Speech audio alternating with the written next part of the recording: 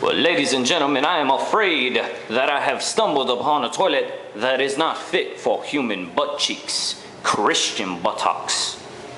This toilet is not equivalent to something that somebody would want to be using on a man's butt. I can't use this toilet, man. I'm gonna have to wait till I get home. You know, there's newspapers and magazines.